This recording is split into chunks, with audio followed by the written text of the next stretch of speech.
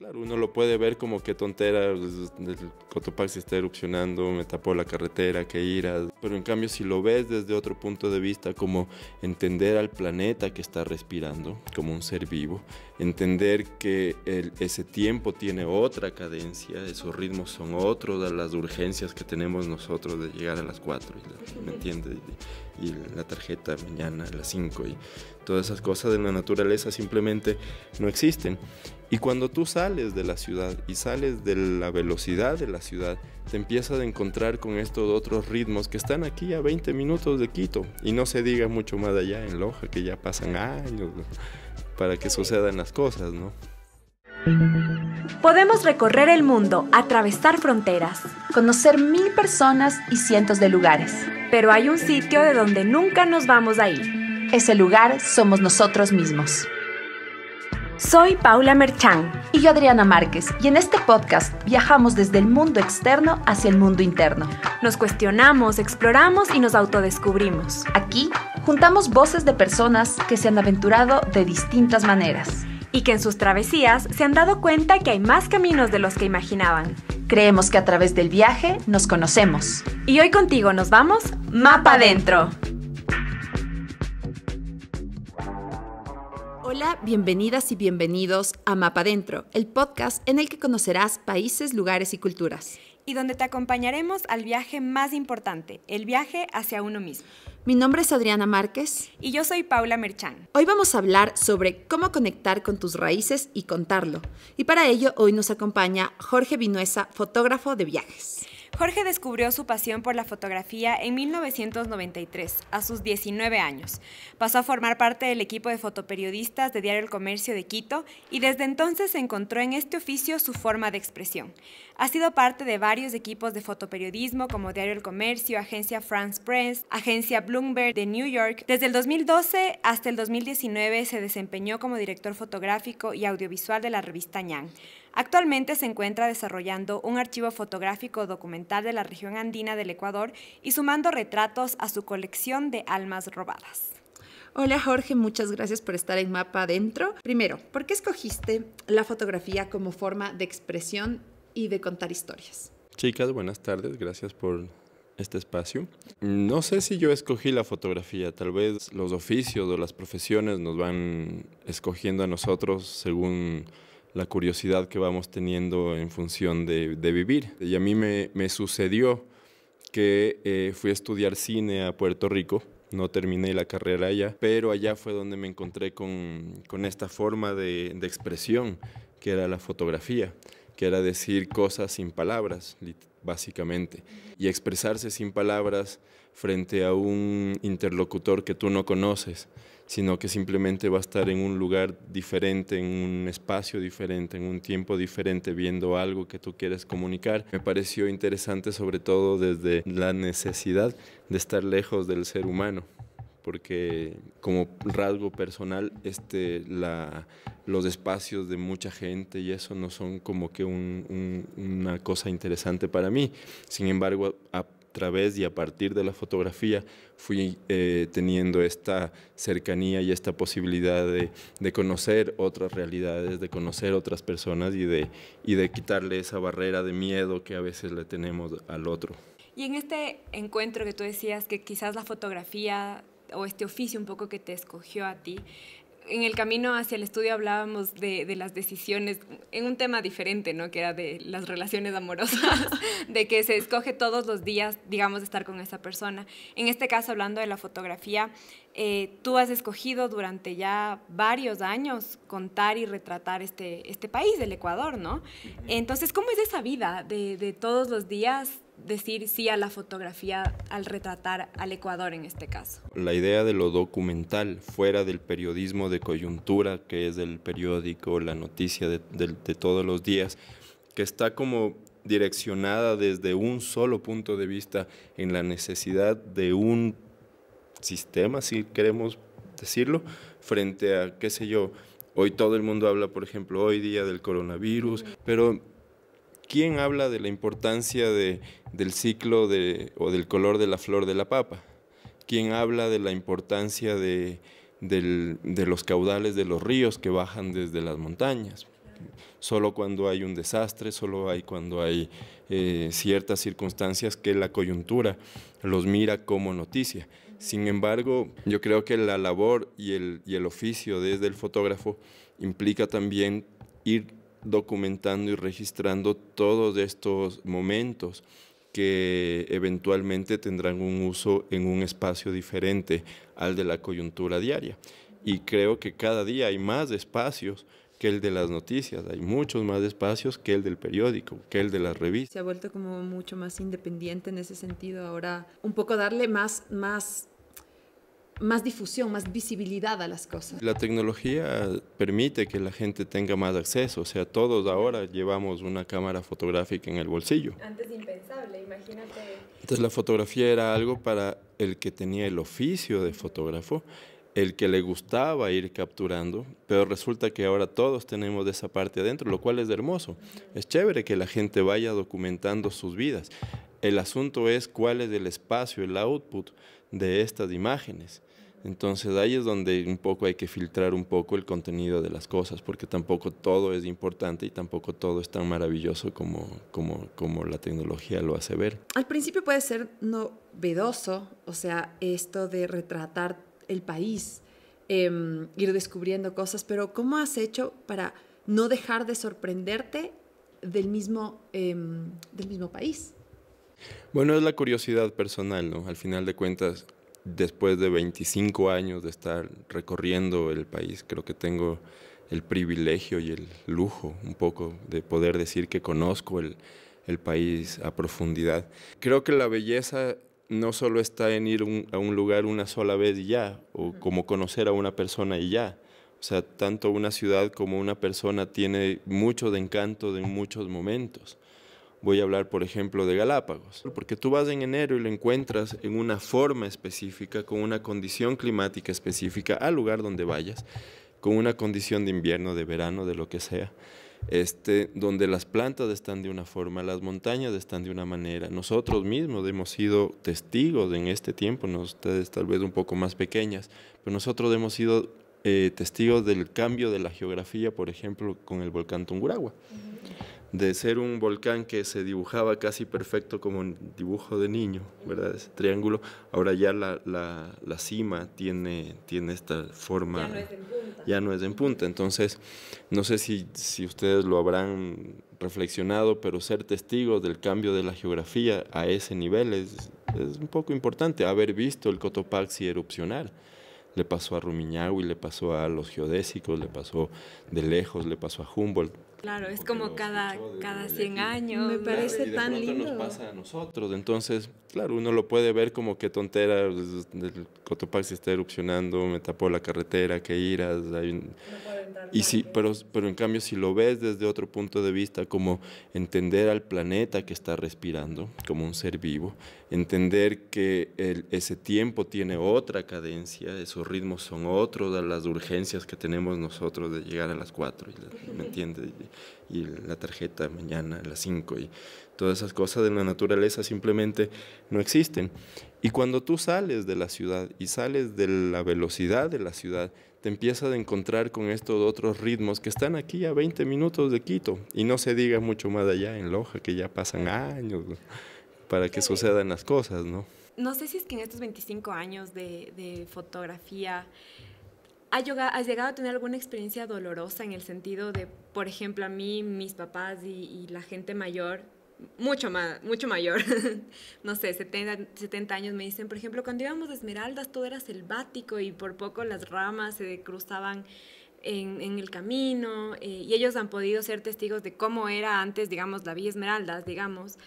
Eh, y a mí me da un poco de pena no haberlo, no haberlo visto así. Entonces, tú en estos años de experiencia has tenido eso como antes de esto era así y ahora lamentablemente ya no es. Bueno, a eso iba con, con el ejemplo de Galápagos.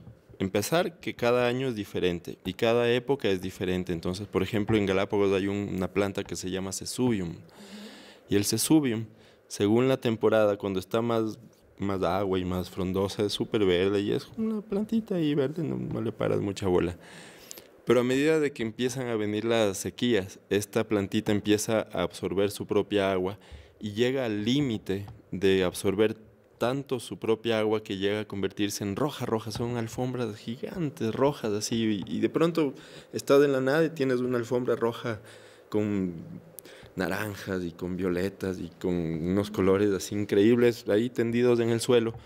Pero es parte de este proceso de vida que hay en las islas o los esqueletos de los animales muertos, que también ahí ya entramos en otro tema un poco más, más filosófico de, sobre, sobre la muerte, por ejemplo, sobre que nosotros interpretamos la muerte desde, desde valores más de carácter sentimental, cuando ahí es, en realidad la muerte es, es parte de la vida, ¿no?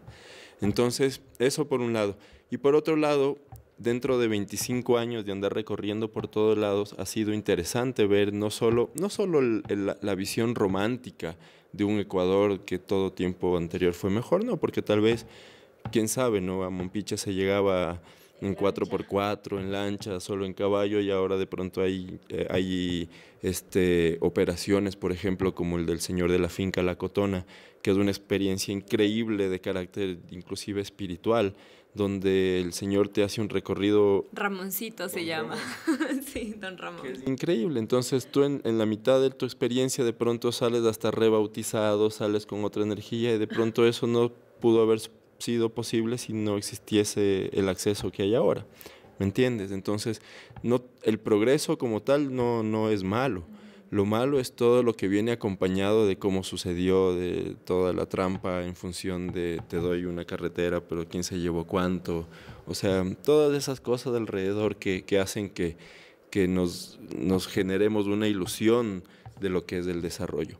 Pero en sí el Ecuador, como cualquier otro país y como cualquier ser, como, como decía, a veces yo relaciono a las personas con, con, con las ciudades, porque tú puedes irlas conociendo. Tú mismo no eres la misma persona de hace un año y tú no eres la persona de ayer, ¿me entiendes? Entonces, asimismo, las ciudades van creciendo y van añadiendo un barrio y van añadiendo de pronto un restaurante y van añadiendo, qué sé yo, y llega gente de otro lugar que le da otra vida.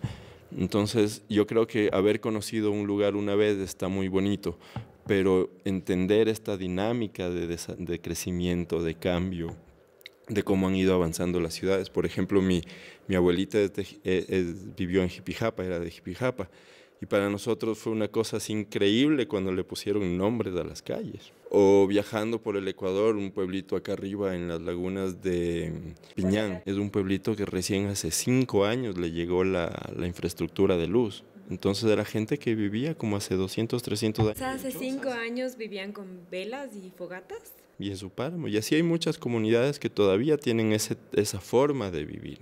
Entonces, es lindo ir reconociendo que, que obviamente cada vez es menos, ¿no? Cada vez es menos. O, por ejemplo, ver la, la, cuando tú me dices algo que me duele, dices, ¿cómo no te va a doler que les construyen casas del Midubi? en lugares donde no necesitan ese tipo de infraestructura, donde necesitan otro tipo de construcción, cuando en realidad lo que fue fue un contrato de alguien que que hizo sus casas, se ganó su plata, pero nunca pensó en el entorno.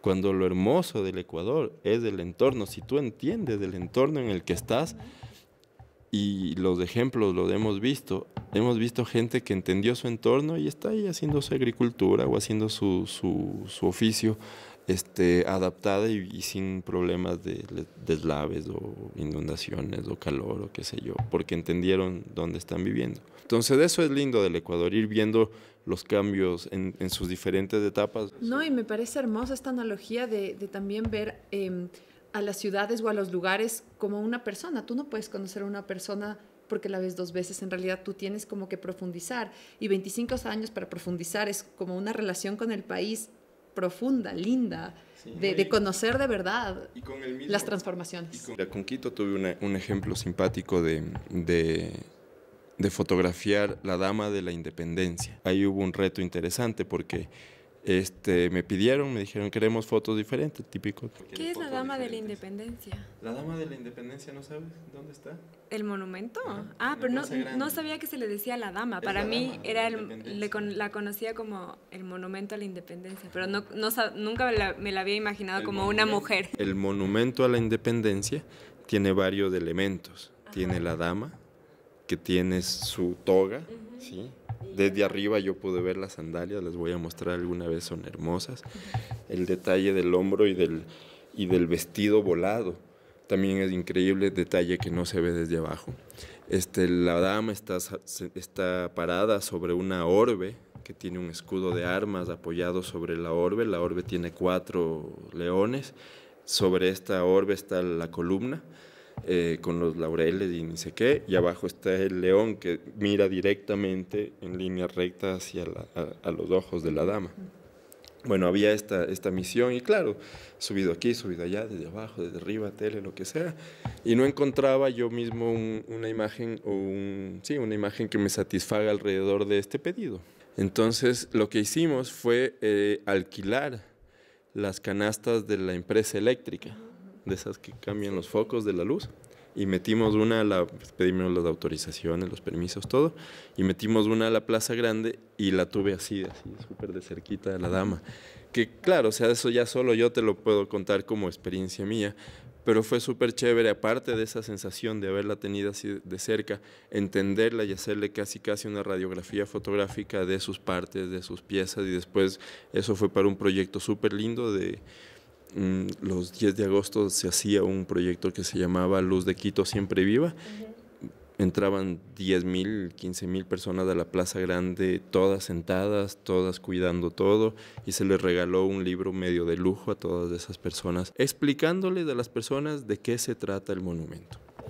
Ese fue el proyecto. Entonces fue súper lindo porque a partir de la fotografía también tú eres parte de ese tipo de proyectos y parte de la memoria de, de, una ciudad, ¿no? Jorge, de entre todos los lugares que has conocido, ¿hay quizás alguno que dices, por lo menos quiero regresar alguna vez en la vida? No digamos de tu preferido y nada, sino como que tú quisieras tal vez en este proceso de ver cómo ha cambiado o algo como alguna vez quiero regresar a ese lugar. Cuando tú estás en un lugar, no sé si les ha pasado, cuando tú estás en un lugar, tú tienes esa sensación o de que quieres volver o de que vas a volver o de que nunca más quieres volver a ese lugar. A mí se me ha dado mucho esto de, volver a los lugares eh, por diferentes razones y ha sido muy bonito reconocer los lugares en diferentes momentos del tiempo. Por ejemplo, cuando fue la guerra del Cenepa con Perú, estaba ahí documentando para el comercio en esa época y fui a un lugar a un destacamento que se llama Numpacataimi. Y el destacamento Numpacataimi es un destacamento muy pequeñito que está en las orillas o en el encuentro de los ríos Numpacataimi y del río eh, Nangaritza, exacto. Es en esa Y. Y dormimos, yo me acuerdo que llegamos de ahí, no pudimos despegar porque se nubló, qué sé yo, y después del día siguiente salimos desde ahí. Toda la noche ahí se escuchaban cantos y cantos y cosas así interesantes que nunca llegamos a ver. Obviamente fue una noche de peligro porque teníamos que dormir en el helicóptero en tiempos de guerra. Si, pasa un avión, lo primero que marcha es el, el helicóptero. Entonces fue así como una circunstancia extraña. Y muchos años después este, me nació esta curiosidad sobre el tema del agua y empecé a desarrollar un documental que se llama Ese canto he aprendido, que tiene que ver con la relación de los pueblos Shuar y, y cómo enfrentan el tema de la minería y cuál es el tema de ellos del buen vivir, de, su eh, tarim pujustin, que le llaman, o el suma causa, que es en quichua. Un poco la idea era investigar y, documentar y hacer un poco de periodismo a profundidad de, lo que de, la, zona aquella. Y resulta que en, dentro de estos viajes, en un momento yo llego a este lugar que se llama Nuevo Paraíso y empiezo a filmar y empiezo a, a, fotografiar y de pronto empiezo a reconocer estos dos ríos que estaban ahí guardados en la memoria de este viaje cuando hicimos en la guerra y que simplemente nosotros fuimos a un lugar que... O sea, en el momento de la guerra tú no sabías que era ese lugar. Te llevaron, o sea, había, había un Pacataimi, había Base Sur, había Tiwins, había Condor, Condor Sur, qué sé yo, había todo, Base Cóndor, qué sé yo. Había todas las bases y esa era una de esas basecitas. Pero súper logística porque está ahí en plena división con, con Perú. Y claro, y después haciendo este documental empecé a, obviamente no sé si serán los mismos, pero a reconocer que los cantos que escuché aquella vez eran cantos shuar. Y después ver el lugar y después saber la importancia de ese lugar, del agua, de dónde nace ese lugar. Después al mismo lugar me invitaron a una expedición a subir a esa, a esa montaña que se llama Cerro Plateado en español o Muranunca en Sajini Arma en, Shuar, que, que, que, que quiere decir el lugar alto donde nacen las aguas que son todas las aguas que después van a, servir a los proyectos de estos de Fruta del Norte, del Condominador, etcétera, etcétera, que van a terminar contaminando los acuíferos del, de los, del río, del, Amazonas y los ríos y todo alrededor, ¿no? De entonces, si tú dices, hay algo que me duele, sí, o sea, me, me duele mucho saber que esa parte se, se, está ya perdiendo y que la verdad no a nadie le, le importa ni, ni nadie hace nada serio para, para, detener eso en función de un desarrollo que, que nadie va a ver. Pero tú quisieras volver a ese lugar alguna vez. Yo creo que voy a volver, es de ley, de ley. Claro, tiene esa cosa mágica que a ti te trae tantos recuerdos y además que de alguna u otra forma está, esta parte tan importante está dejada en el olvido o se está dejando en el olvido y para uno puede llegar a tener una riqueza que el resto quizás no lo ve. Mira, hay un canto de la señora que yo lo que hago es documentar cantos y después les, le transmito los cantos a amigos músicos y ellos realizan partituras a partir de, de, los cantos.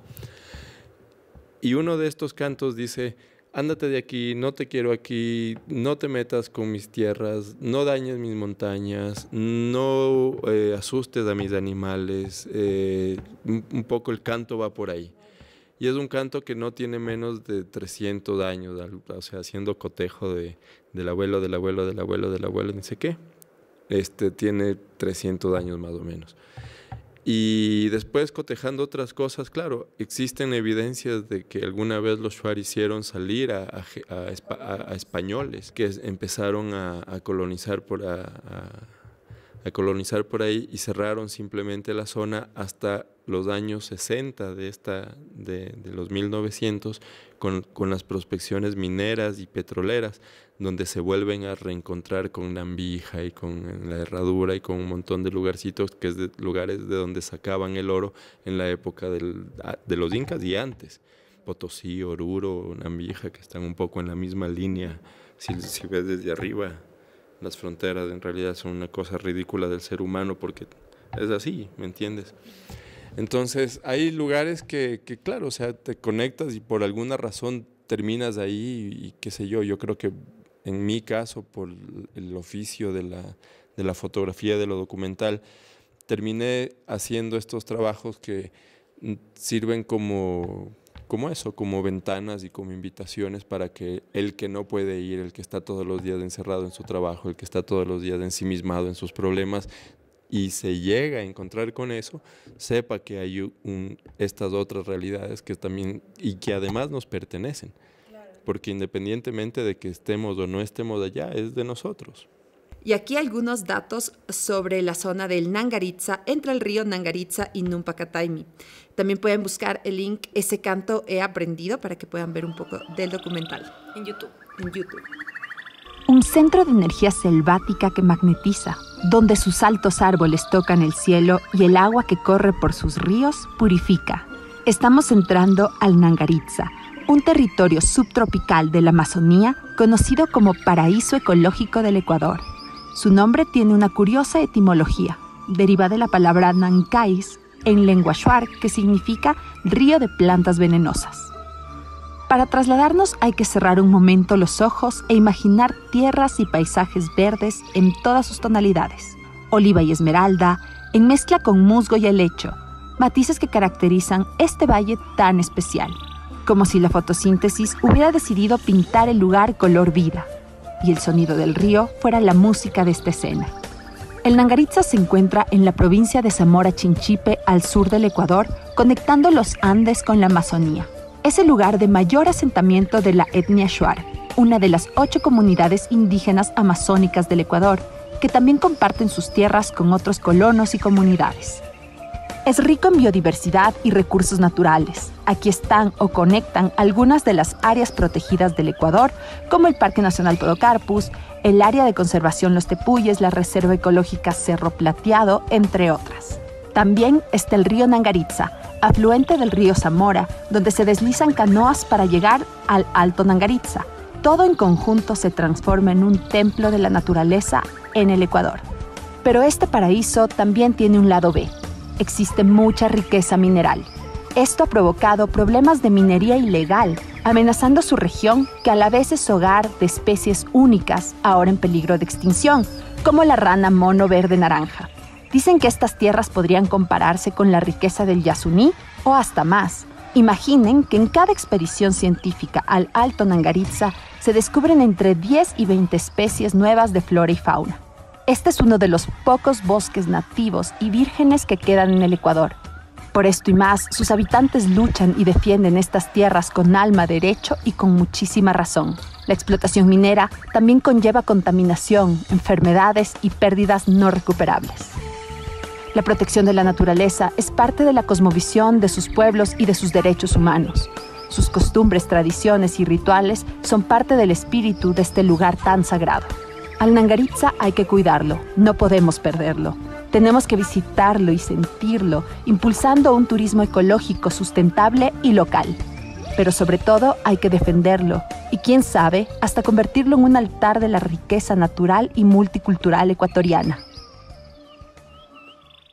Y ahora volvemos a nuestra conversación. Bueno, Jorge, durante estos 25 años, ¿alguna vez te has sentido no identificado con tus raíces? ¿O tal vez decepcionado de tus raíces? De la clase política. De la política. Lastimosamente es una clase que, que lo hace todo por otros propósitos que no son el Ecuador. ¿Sabes que eso es, un, eso es una constante pregunta? que tiene que ver con la identidad, porque a pesar de que todos somos ecuatorianos, yo a veces me pregunto, ¿no? ¿Qué tiene que ver alguien de Chuquiribamba con alguien de La Maná? Con alguien de, California, aquí antesito de La Maná, o con... Hay un lugar que se llama California. o con África. Hay un lugar que se llama África en Esmeraldas. Este, ¿Y qué tiene que ver el señor de África con el señor Shuar de, del Nangaritza.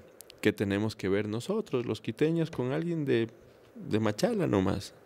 ¿Me entiendes? Sin embargo, hay, hay algo, bueno, ese algo se llama Ecuador, ese algo es un territorio, pero hay algo más que, que tiene, que tiene que hacer que, que todos o que hace que todos nos movamos en función de esta nacionalidad, ¿me entiendes? O sea, es medio feo y ridículo que el fútbol sea una cosa que una, la guerra en su momento fue un detonante de unión. O momentos de desastre, como el terremoto, digamos. Pero hay algo más allá que no es visible, que no es tangible, que, que, que te hace a ti ecuatoriana y te, hace lo, te, te, da exactamente los mismos derechos que le da a ella y que me los da a mí. Tengo una pregunta que, que personalmente me intriga, me encanta, porque me encanta todo lo que tiene que ver con rituales y celebraciones y creo que habla muchísimo de, toda la cultura de, nuestro país y en general del mundo.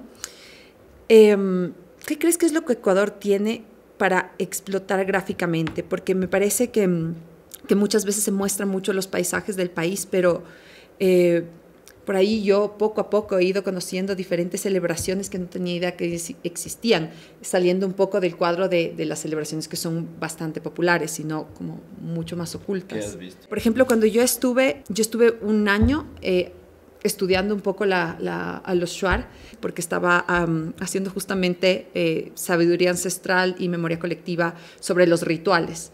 Entonces yo no tenía idea cómo ellos empezaban, eh, o sea, cómo, ellos conectaban con la guayusa, em, cómo se producía la, chicha, cómo, o sea, desencadenaban un montón de celebraciones y rituales que yo no conocía.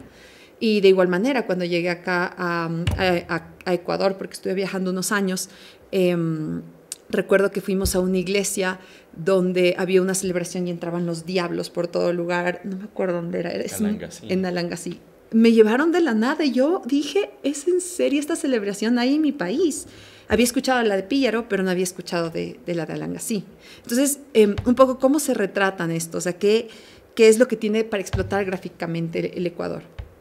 O sea, el Ecuador para explotar gráficamente tiene el Ecuador. Eso es gráficamente hablando. Pero si quitamos esa necesidad de fotografiar y de registrar o de qué sé yo, el Ecuador tiene y queremos entender las fiestas las fiestas están como divididas y separadas en diferentes momentos, digamos. Hay las fiestas que tienen que ver con las cantonizaciones, independencias y todo eso, que son, si te pones a ver los San Juanes y todo eso, son fiestas que van bajando de fecha. O sea, del norte hacia el sur van cada, cada vez más acercándose hacia agosto. Después hay las fiestas de sincretismo, que fueron fiestas que se fueron adaptando en el tiempo, ¿ya? para que los indígenas vayan metiendo en sus tradiciones este, las culturas de lo español en su propia cultura. Entonces tenemos los Inti Raimis, tenemos los Capac Raimis, tenemos los, el Corpus Christi, tenemos un montón de cosas para entender, ¿verdad? Que, los, que, el, que el Dios que traían no es de la montaña, y sino que es uno que está clavado, y, y la Virgen, y todas esas cosas. Y después, claro, y después cada pueblo según su entorno, fue interpretando esas costumbres y les fue dando y les fue poniendo sus propios detalles en función de, su propio entendimiento. Entonces ahí, por ejemplo, tenemos lo de Alangasí, que en realidad lo de Alangasí es, un teatro litúrgico, eso es. Alangasí es la representación del teatro litúrgico de la Semana Santa. Eso es lo que sucede en Alangasí. Entonces, del pueblo como, no como espectáculo, sino como conmemoración teatral, eh, participa en función de no solo diablos, porque hay las almas santas. ¿Te fijaste estas, estos grandes grandotes que van así? Ya las almas santas, por ejemplo, fueron eh, sacadas por Eloy Alfaro cuando, cuando convirtió los, las iglesias en sitios militares y sacaron toda, toda celebración y toda manifestación religiosa de la ciudad, estos personajes se fueron quedando como colgados en los pueblitos y como todavía eso era lejos, ¿no? hasta ahora es lejos de Langasí, este, se fueron quedando tradiciones y personajes que, por ejemplo, las almas santas no se sabía que existían hasta que aparecieron los dibujos de, de, Chartón que salieron en, el libro de imágenes de, de identidad del siglo XIX, que es otra cosa interesante para poder fotografiar si tú vas ciego a una fiesta, claro, te vas a sorprender de lo que sea que veas. Pero, por ejemplo, yo a Langasí fui a fotografiar seis años seguidos y a entender solo el personaje de los diablos. Porque hay los angelitos, las almas santas, hay los romanos, hay hay Muchísimos el, elementos hay el abanderado, hay, o sea, hay, hay, los cucuruchos de rosas que ya no hay en Quito, por ejemplo. No sé si te fijaste que los cucuruchos de ahí llevan las rosas así y llevan esta cosa acá. Sí, sí, sí, sí, claro. Esos no hay en Quito, por ejemplo. Esos solo hay en, en, El Tingo, en Alangasilla, en La Merced. en, en, Perucho también, también existen. Perucho, la cosa de Perucho es increíble. El Martes Santo, váyanse, es alucinante. Eso, por ejemplo, un poquito del, del, Martes Santo de Perucho sale en este pequeñito corto documental que se llama Ecuador, un país hecho a mano, que ese es un viajecito ese es un viajecito que está en YouTube, es un viajecito de 10 minutos que te lleva por varias regiones del Ecuador a través de poesía y bonitas imágenes, que no te quiere vender nada, solo te quiere mostrar que el Ecuador es una cosa maravillosa. A lo largo de los seis años me fui dando cuenta, por ejemplo, que la función del pingullero, y que los, los pingullos, ¿sabes lo que es los pingullos? Son estas flautas que son hechas de hueso de cóndor. Es una flauta que dependiendo de su grosor y de su, de su, de su calibración, digámoslo así, va a entonar lamentos, va a entonar festejos, va a entonar tristezas que van a ser usados dependiendo de la fiesta. Entonces el pingullo del Viernes Santo no va a ser el mismo pingullo para, para Corpus Christi, por ejemplo. Cuando leímos tu biografía, mencionamos que estás sumando retratos a tu colección de almas robadas. Y como anécdota, yo le conocí al Jorge hace unos cuatro años o tres años, cuando le hice un reportaje sobre su proyecto. ¿Cómo se llama el, proyecto de la cámara? Es que, no es, un, es, que, es que no es un proyecto, es una cosa que se ha ido dando, ha ido existiendo partiendo de la curiosidad, es una cosa que a mí me ha sacado, por ejemplo, de, de este estricto rigor de la calidad en la fotografía, de mantener los colores. Pero contemos de qué, de qué estamos hablando. Jorge tiene una cámara de qué año es? Es un lente de 1890 adaptado en una cámara de manga que fue utilizada en el Parque Centenario hasta los 80 más o menos. Después estuvo guardado un buen tiempo y yo la, se la compré a un fotógrafo de allí, a Don Calderón Leones Zambranos. Es el señor que te mostraba, hermano de Simón Bolívar Leones Zambrano. La compré por adorno, por tenerla como, como adorno en un estudio que tenía aquella época. De pronto me di cuenta que en realidad la cámara lo que era era un cuarto oscuro chiquito. y, que, y estaba con todo. Entonces empecé a jugar, empecé a, a jugar, a jugar, a jugar. Esto que te digo, 2009, 2010 más o menos por ahí. Y después, de, desde entonces, han pasado, que estamos, nueve años más o menos, diez años, donde se han sumado una serie de retratos y una colección de, de fotografías de ese, de ese, estilo desde esa cámara. Uno, para mí, satisfacer mi gusto por el retrato, porque el retrato es una cosa que me gusta mucho. Y lo otro ha sido también se ha ido formando toda una experiencia alrededor de, de lo que es la conciencia, el valor del oficio, el valor del presente. Y del tomarse el tiempo, porque ahora el valor con... de las imágenes como Sí. tal. Ahora te haces 20 en un ratito y después quieres escoger la uno. Es es de ese momento. O sea, el resultado no es tan, tan, tan importante como, como la experiencia que se lleva la persona y la reflexión alrededor de lo que es la fotografía y sobre todo eso. Más que nada, ni siquiera el hecho de, de una buena fotografía, sino el hecho de tomar conciencia. Yo creo que eso es lo bonito del proyecto, que al menos después de que te haces la foto, tú te vas con, con la idea o al menos con la reflexión de tomar conciencia en tus actos, de que todo tiene un algo por detrás, de que todo al- alguien ya lo pensó. O sea, aquí, o sea, no, novedad, novedad no hay mucho. Lo que puedes hacer, pararte ahí bien duro para sostener un, un, un estilo, una forma de pensar. Muchas veces, a veces yo siento que no sé dónde está la línea entre robar una foto y hacer un retrato, por ejemplo, y después, no sé, utilizar la cara de esa señora Schwarz, digamos, hablando de los Schwarz, y, y, no sé, publicarla y todo, todo eso. Entonces, ¿cómo conectas tú como fotógrafo con esas personas que retratas? Primero llegas con permiso. Es muy raro, el, el- el- o sea, ya es muy raro para mí salir a, a- a robar así imágenes, ¿no? Tal vez a veces voy así cuando estoy de paso en ciudades o, o como de ejercicio dentro de Quito. El centro de Quito es un lugar muy bonito para, para, ir, a hacer, para ir a hacer eso sin una necesidad concreta. O sea, hay permisos, y hay, permi- hay permisos que tú simplemente hasta una mirada ya te otorga el Claro. permiso. O sea, tú estás con una que si yo saco ahorita una cámara, de pronto ya con la mirada sabes que vas a estar. Y ahora también depende mucho, porque la fotografía, hay una pequeñita palabra que- se le ha quitado la atención y que es muy importante, es la ética. La ética del uso de las fotografías. O sea, no quiere decir tampoco que porque yo hago una fotografía, esa fotografía tiene que estar en cualquier lugar, en cualquier espacio. O sea, yo tendría que respetar el, el, dónde va a estar esa fotografía utilizada. Y en su gran mayoría, las fotografías que, se desarrollan no son de casualidad, porque estamos ahí para evidenciar un proyecto para visibilizar un producto, un proyecto de turismo, un proyecto de agricultura, lo que sea, gente que está dispuesta para que la fotografía es para que ellos a través de esas imágenes puedan mostrar su trabajo, su comunidad, su lo que sea, ¿me? Entonces es como una cadena, es como un círculo, como tú sabes del círculo de la comunicación, ¿verdad? Nosotros al final de cuentas lo que hacemos es la primera parte del círculo de la comunicación, que es tener la curiosidad, hacer la fotografía, revelarla, qué sé yo, y lanzarla. Después hay un- una otra mitad que ya depende de ti, si la ves, si te llegó, no te llegó, generó algo, eso ya, eso ya no depende de, de uno, eso ya depende de, de un montón de cosas del canal, de si salió. Yo tuve una, una chévere conversación con Willy Ronis en París. Willy Ronis es este fotógrafo contemporáneo de Cartier-Bresson. Yo lo entrevisté a él cuando él tenía 93 años. Él murió hace unos 5 años más o menos.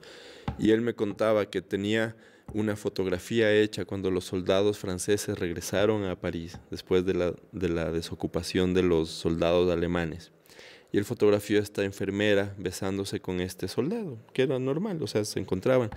Pero, pero él no publicó, él me dijo, yo no publiqué esta fotografía sino 40 años después, cuando la fotografía como tal era válida por fotografía, no por los personajes, porque narraba un, un, hecho histórico en ese momento.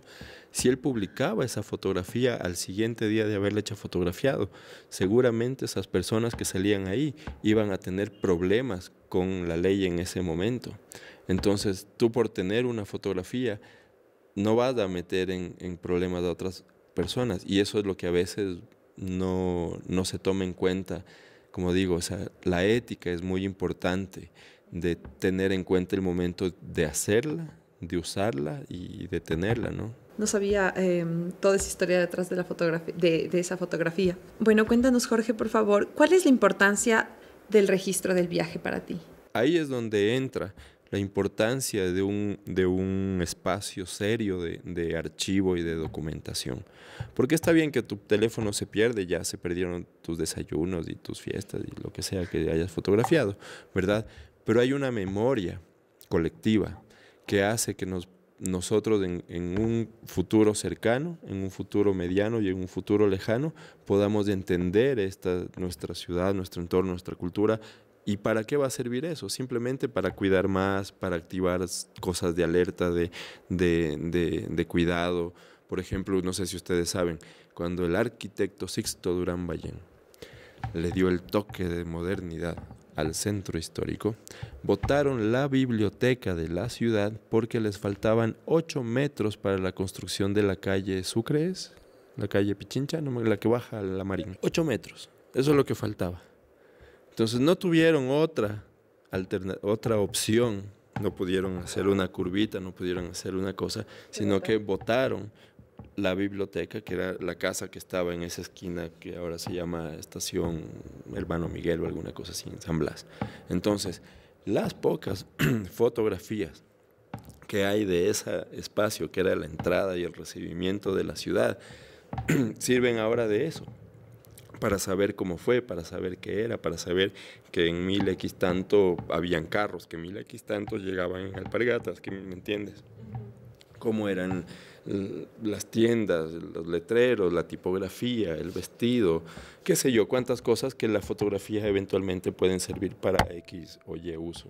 En, en el contexto del registro del viaje y de la documentación y el archivo, ¿nos puedes contar un poco de, de tu proyecto actual? Está en construcción es un archivo fotográfico de lo documental y la idea es sumar fotografías no solo del Ecuador, sino de algunos países eh, de Latinoamérica.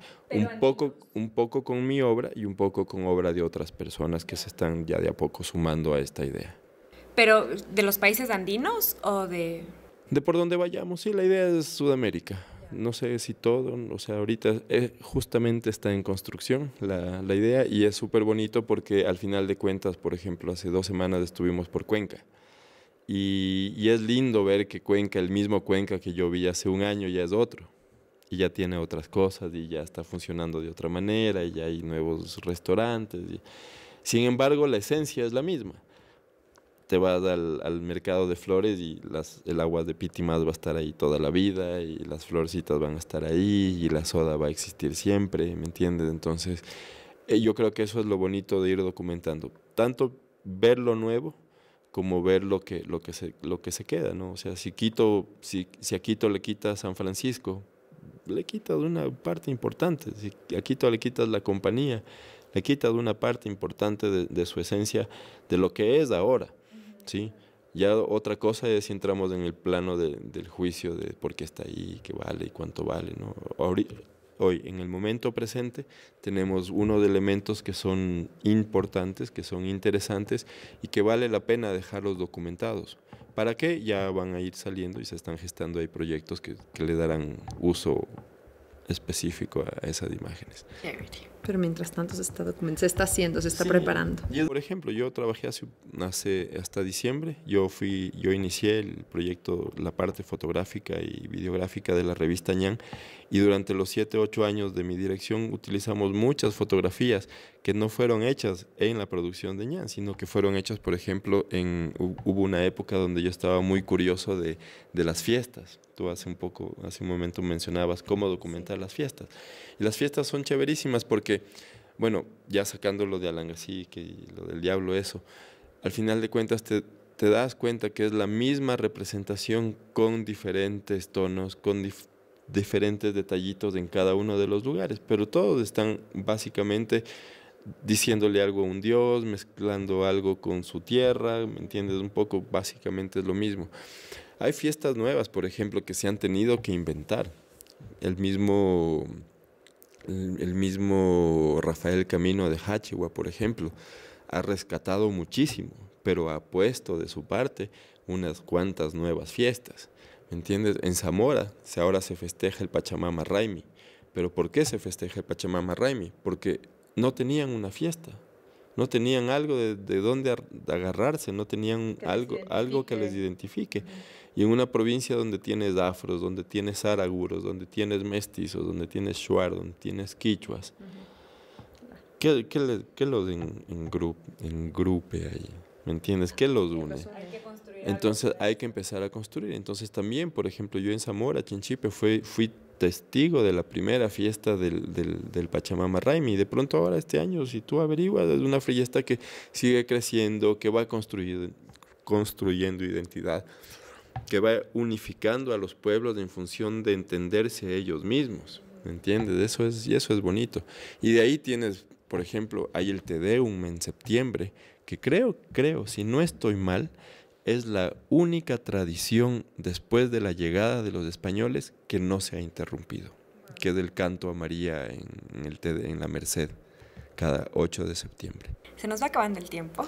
Se nos va acabando el tiempo. Y ahora vamos a hacerte una ronda de preguntas que la idea es que sean, les hacemos a todos los invitados y las invitadas. Eh, son preguntas concretas, eh, un poco para conocerte más allá del oficio de, de fotógrafo. La primera pregunta es, ¿qué elemento o qué animal o qué planta tú sientes que te representa o te identifica? Lo bonito de la fotografía es que te va conectando con gente y con formas de pensar muy diferentes si es que tú tienes la capacidad de abrir tu mente a entenderlas. ¿Verdad? No quiere decir darlas por hecho que sean para ti, pero puedes entender eh, ciertas partes de creencias o ciertas formas de entender la vida desde ciertas miradas que te ayudan a ti a caminar un poco más livianito en el día a día, con entendimientos de la vida, de la muerte, de ti mismo. O sea, cuando te dicen esta pregunta de que, qué animal, uno se la, a veces se la ha hecho, ¿no? Pero no, hasta ahora yo no, no creo que encuentro un, una representación mía en función de qué sería yo, porque no. Porque además cada vez que conozco un nuevo animal me da ganas de ser ese animal. Entonces dices, qué bonito que sería ser, qué sé yo. ¿Crees que podría ser la transformación tu elemento? La transformación. Porque es como has hablado mucho de la mirada y de la transformación en general. O sea, dices cada vez que veo un nuevo animal o cada vez que vuelvo a conocer una ciudad. Entonces me parece que una palabra que, te identifica mucho. El movimiento es, el movimiento es parte de la vida. El, el, el, claro, el movimiento es parte de la vida. Uno está en constante transformación todos los días. Tú no eres la misma de ayer. Yo no soy el mismo de ayer. Algo sucedió ayer que hoy me hace ser lo que soy yo. ¿sí? Y hoy seguramente para muchas personas habrá sucedido algo que te disparó, no sé si a ustedes les habrá pasado, a mí me pasó ya varias veces en momentos de la vida que dices, a ver, no es por aquí, me voy por allá, ¿verdad? Entonces, ahí creo que ya como tú lo asumes, ¿no? Tú puedes decir, ya me voy para allá y lo voy a enfrentar como un tigre, y lo voy a enfrentar como una hormiguita, y ¿me entiendes? Pero eso ya es una interpretación de, lo que tu cabeza conoce.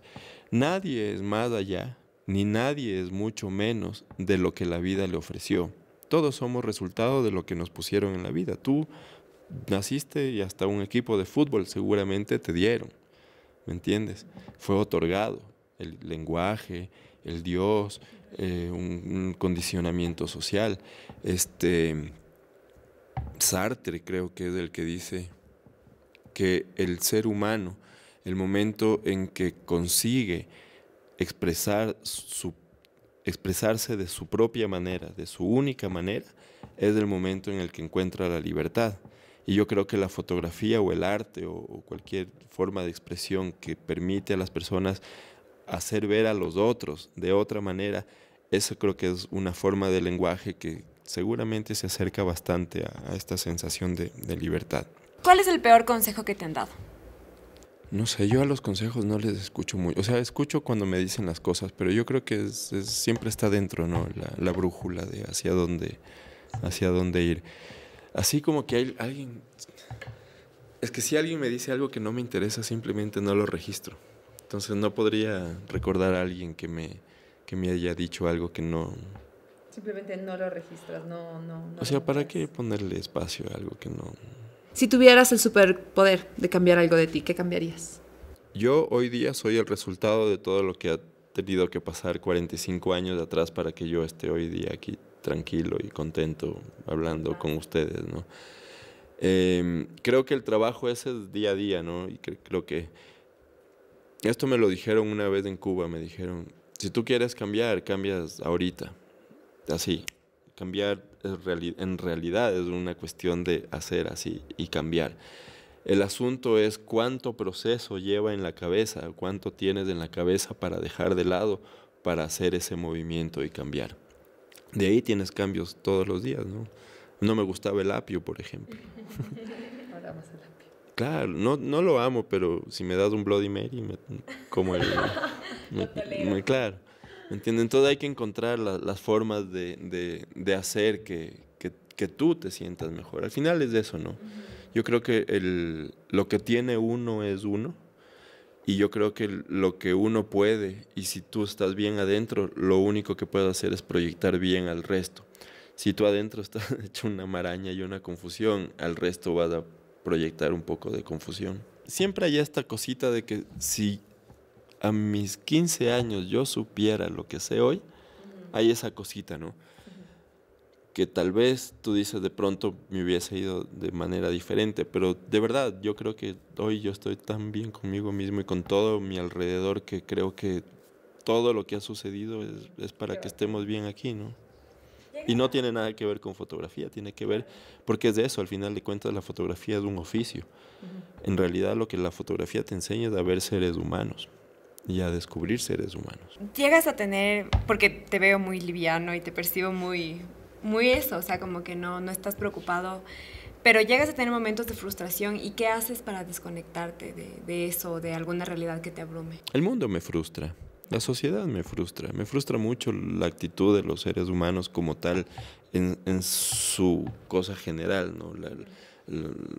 La, mala onda de las personas, el, individualismo de las personas en ciertos aspectos, aspectos de, convivencia, este, convivencia, ¿no? O sea, hay gente que simplemente no le importa el otro y, y atrás hay 80 jodidos por culpa de uno que no le importa nada. ¿Me entiendes? Eso, eso, me, eso me, me, frustra. Eh, la indiferencia me, me, molesta también de, de parte de, de, mucha gente. La mediocridad me, retuerce. Los pendejos me, dan la vuelta así. Pero tienes que aprender, aprender a vivir con todo eso, ¿no? Y al final de cuentas, tú eres el que decide cuánto te afecta la acción del otro. ¿Me entiendes? Te desconectas de eso? Haciendo fotos porque la fotografía es una cosa que no te, no te permite otra cosa que estar en el presente. Eso tiene la fotografía. El, único espacio posible para, para hacer fotografía, no te digo para hacer clic ni tener una cámara, para hacer fotografía, para estar fotografiando, es estar en ese momento. Porque si estás con una cámara en un teatro, en una fiesta, en un pueblo, en un donde sea, y estás ahí con el banco y con el problema y con el divorcio y con el, enfermo y con la cosa y con la deuda y la casa y el niño y el guagua y no sé cuánta cosa tiene el ser humano para preocuparse, ¿verdad? Entonces tu cabeza no está ahí. Pero si tú estás ahí, estás descubriendo el collarcito, estás descubriendo el tatuaje, estás descubriendo la cortina. ¿Qué es lo que más admiras y qué es lo que más desagradas de tu cultura? Admiro la valentía en las personas, admiro que, todavía hay gente que, que hace lo que sus cojones le determinan. La indiferencia me desagrada de las personas, o sea, todo lo que tiene que ver con la falta de ética, con el abuso a las ideas inclusive no a las personas, sino el abuso a las ideas como tal. la, mala ortografía también es una cosa que no me gusta. Este, Me identifico con dos las, las personas que hablan en, en tipo meme, eso también es un poco extraño últimamente. Este, nada, yo creo que es eso, yo creo que el proceso de, de- de cada uno eh, tiene que ayudarte a justamente alivianarte de cosas para que no te desagraden. Porque están ahí y tú no vas a hacer, no vas a poder hacer mucho más que cambiar tu propio metro cuadrado. Entonces yo creo que ese es el aporte y por ahí va. A mí me gusta mucho la filosofía, por ejemplo. Eh, llevo años estudiando de manera eh, no, no, no académica, no oficial la filosofía. Y, me gusta y me ayuda mucho porque me, me ayuda a entender al otro fuera de, fuera de sí. O sea, me ayuda a entender al otro fuera de, los actos personales, eh, que a veces uno se toma las cosas personales, ¿no? Entonces, cuando tú entiendes la filosofía o entiendes al otro desde un, es- desde un espacio donde el otro solo cumple una función de arquetipo, de estereotipo, ya no es tan personal y ya no te, te llega a, a- afectar tanto, ¿no? Entonces, creo que eh, desde ese punto de vista hay muchas, muchas historias y muchos ejemplos de gente que, que ha sido valiosísima para, para entender la vida. Uno que sigo mucho y que me gusta mucho por muchas razones es eh, las palabras de Facundo Cabral, por ejemplo, que es un tipo que, es un tipo que ha logrado poner en, en- en facilito mucho pensamiento de carácter eh, codificado que viene de, de ocio y que viene de, de pensamientos ya muy elevados. Y él los ha sabido traducir en palabras simples para ponerlos en, en la escena diaria tuya y mía. Eso, eso, ese me gusta mucho. Gal- las palabras de Galeano me encantan. La, la le- leer eso me, me gusta mucho. Yo conocí a Galeano sin saber que era Galeano. Sí. Eso me pasó a mí. Lo saludé, lo- le tomé una foto para el comercio y todo eso. Yo, Y no sabía. sea, yo lo saludé, mucho gusto, encantado para servirle. Y hasta entonces no lo había leído. Años después fue que ya empecé a, a tener curiosidad un poco de, de ciertos temas y me encontré con él. Me encontré con su lectura y fue increíble. Conocí y le hice el último retrato formal a Jorge Enrique Adún, por ejemplo No, qué lindo. que también haber conocido a él como persona y haber conocido su, su estructura de cómo a Efraín Jara y Drobo también lo conocí antes de que muera. O sea, he tenido muchísimos encuentros lindísimos a través de la fotografía, que no es que una persona es la que dice, ese es mi norte y quiero ser como, porque tampoco podría ser como alguien, ¿no? Yo creo que... Porque tienes la vida que tienes que vivir. Y claro, y yo soy yo, ¿no? Pero te inspira. Pero de pronto te encuentras con que, que bestia, había una vida que, de alguien que hizo una cosa que dices, wow, ahí encuentro yo un día el, el motor para caminar un día más o una semana más o qué sé yo, o una canción o un libro, porque no son solo las, las, las vidas de los otros, las biografías son hermosas, son increíbles, a mí me encantan las biografías, yo me puedo pasar viendo las vidas de los otros para saber también, porque al final de cuentas tú lo que ves en las personas es su triunfo, su éxito y el wow que hicieron, pero no viste los 30 años de sufrimiento atrás y qué sé yo, la, familia la familia de Chespirito, los hijos de Chespirito, por ejemplo, ¿sabes cuál es el recuerdo que tienen de su papá? Un señor metido ahí en un cuarto escribiendo. Eso es su recuerdo familiar. Entonces, todo depende de lo que ves. Sin embargo, ¿qué hizo Chespirito? Hasta ahora todos lo vemos todos los días y es un referente increíble para la niñez del, del mundo ya. Tenemos una pregunta que es ¿qué libro te estás leyendo o, o nos recomendarías leer? Ahorita estoy leyendo uno que se llama Nuestra piel muerta de Natalia García Freire, que es una escritora cuencana súper chévere, joven, joven y como que de la nueva... Y de ahí tengo pendientes miles de libros. He, dej- he dejado, sinceramente, he dejado un poco la, la- la- la lectura porque me distraigo mucho con la realidad. Y últimamente es la realidad como que me, me llama más la atención Uy, vivirla. ¿Tú sabes por qué en Loja son así de cultos? En Loja son increíblemente cultos, súper leídos, porque la única manera de salir de Loja en una época era leyendo. Era la única manera de sacar la cabeza de ahí. Claro, la, lectura es increíble. Eso yo te digo, yo tuve la suerte de que mi papá me cruzó libros en mi infancia. Yo, mientras los compañeros del colegio leían X cosas, yo andaba ahí metido en Nietzsche y en, y y en metafísica y en qué sé yo. Entonces a mí los libros sí me han dado, además llegan, los libros también te llegan en momentos específicos para ayudarte a hacer esos giros de vida. ¿no? Ustedes saben, no sé si saben lo que es el punto de inflexión. Es el punto, tú has visto cuando esto le, das la, así, ta, ta, ta entonces hay un punto en que esto se rompe y ya no vuelve a ser lo mismo. Ese es el punto de inflexión. Entonces hay momentos en que ciertos libros por alguna razón se te cruzan y están ahí para ti. Dicen que los libros te escogen. Había, alguien me dijo eso alguna vez. Los sí, los hijos de los perros y los gatos también. Bueno, muchas gracias por acompañarnos, Jorge. Nos ha encantado conversar eh, contigo. Pueden seguir también a Jorge en, sus redes. Sí, es arroba la foto movida. En Instagram. Fotos del camino también. Fotos del camino en dónde? En Instagram. En Instagram. ¿Y en YouTube?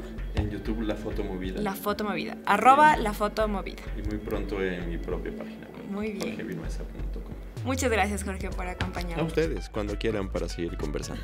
Perfecto. Bueno, y si quieren que hablemos de un tema específico, que entrevistemos a alguien, nos pueden contar a través de nuestras redes, en arroba mapa dentro, en Instagram y Facebook, o en nuestro canal de YouTube. Y si te gustó este programa, compártelo para llegar a más personas. Y también queremos agradecer muchísimo a la Escuela de Comunicación y al Taller de Experimentación Audiovisual de la PUSE, donde podemos grabar este podcast. Soy Pau Merchan. Y yo Adriana Márquez y nos vemos y escuchamos la próxima semana para un viaje Mapa, adentro. dentro.